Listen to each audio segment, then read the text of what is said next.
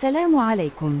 هل تعلم أن نبات الخبيز يحتوي على كميات كبيرة من مضادات الأكسدة التي تلعب دورا هاما في الوقاية من العديد من الأمراض الخطيرة في مقدمتها السرطان، فضلا عن مكافحة الشيخوخة المبكرة ومنع تكون التجاعيد والحفاظ على شباب البشرة الدائم.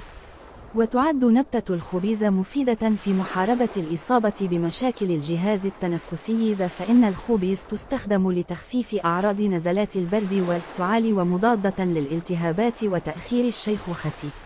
وكذلك فوائد الخبيز المتعددة في مجال التجميل، خاصة فيما يتعلق بتغذية بصلات الشعر وإكساب البشرة والجلد النعومة المطلوبة مع تحياتي للجميع ولا تنسوا الاشتراك في القناة وتفعيل زر الجرس وعمل لايك ليصلك كل جديد مع تمنياتي لكم بدوام كامل الصحة والعافية والسلامة والسعادة.